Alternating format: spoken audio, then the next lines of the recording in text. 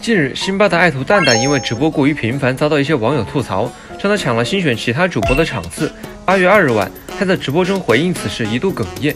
他说自己没有抢任何人的场次，所播的每一场都是公司安排的，是师傅辛巴安排的。我真的没有抢任何人的，我播的每一场是公司让的，是公司安排的，是我师傅让的。现如今，辛巴不仅想让他隔天播，终极目标是想让蛋蛋日播，只因新选用户有需求。蛋蛋称自己已经花了所有的勇气、所有的力气在直播这件事上，直播是生活，是事业，也是自己的一个梦。说着说着，他就哭了起来，称自己快坚持不住了，并呼吁大家理解一下。那我快我快坚持不住了，我真的好累呀！对此，有网友指责辛巴过于严格，让蛋蛋本来快乐的一个人，现在也被鞭打的不开心了。还有人称他像被洗脑了一样，被培养成每天二十四小时直播的机器。